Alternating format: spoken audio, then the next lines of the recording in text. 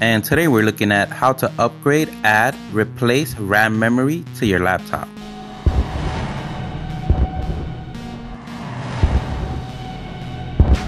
And today we're going to use the Toshiba C55D 5102. This originally comes with 4 gigs of RAM, which we're going to upgrade to 8 gigs. And we're going to be using a low voltage memory for this upgrade. And that's what the L stands for on the PC3L. The first thing you always want to do is verify which memories are compatible with your device. So let's go ahead and start by shutting the computer down. Depending on the brand of your computer, you have different ways to access the memory.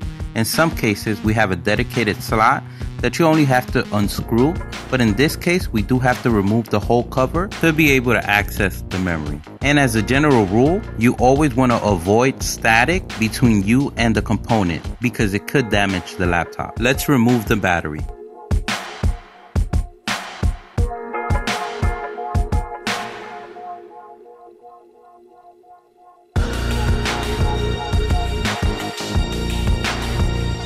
So after you remove the battery, you want to press the power button just in case any of the board components may still have energy.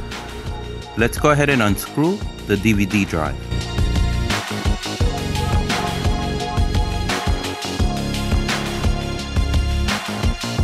Once you have removed all the screws, now you can remove the cover. And as you can see, there is the memory. Let's say in your case, you only have one slot. You have the option of replacing it or upgrading it just by unclicking on the memory and adding the new memory. In this case, we're gonna add an extra memory to the empty slot.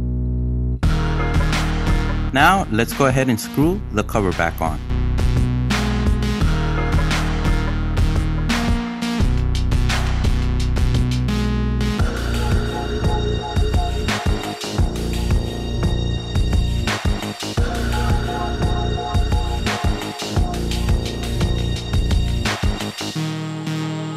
In this case, we were prompted to the BIOS to enter the time and date because remember we did take out the battery. And now that you showed the laptop who's the boss, now you can take it to the mean streets of the web. And don't forget to like the video, subscribe. If you have any questions, leave them in the comments below. Follow us on social media. Thank you for watching.